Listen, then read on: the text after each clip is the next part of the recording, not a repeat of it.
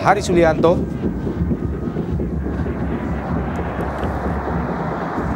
Sebuah penetrasi yang cepat kita lihat. Wow, Zarahan. Masih Zarahan. Berusaha mencari teman dan kali ini gol!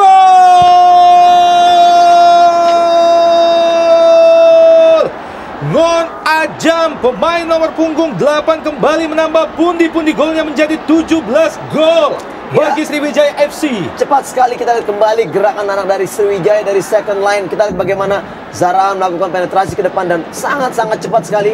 Kita lihat memberikan umpan yang sangat kualitas kepada seorang Ngon Ajam.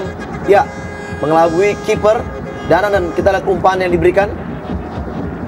Ya, mencip bola dan tepat sekali di kepala Ngon Ajam yang gampang sekali meletakkan bola ke gawang. Ya kalau kita lihat bagaimana kecerdasan dari seorang jarahan yang